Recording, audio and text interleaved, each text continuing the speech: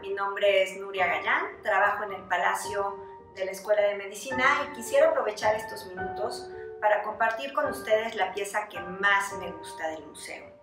Se trata de un objeto que despierta en mí una sensación contradictoria.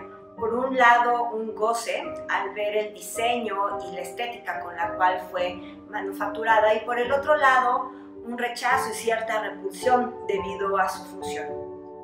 Se trata de la sierra de amputación.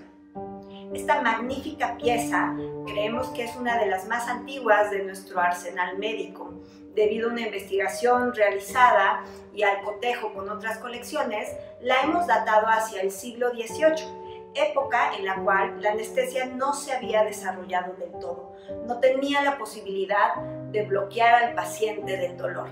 Debido a eso, eh, los cirujanos tenían que contar con dos aspectos primordiales. Por un lado, el tiempo. Se trataba de ir contra el reloj, hacer una intervención lo suficientemente rápida para no exponer al paciente a un dolor extremo. Y por el otro lado, la precisión, para no causar ningún tipo de hemorragia.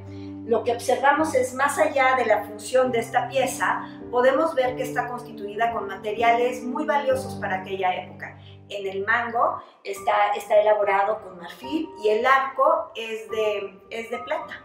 Remata con una decoración inusual, se trata de un mascarón que nos recuerda estas imágenes de los grutescos, que de su boca emana un dragón que abre las fauces y que detiene esta fina hoja muy bien dentada para que el cirujano pudiera completar la operación de manera eficaz.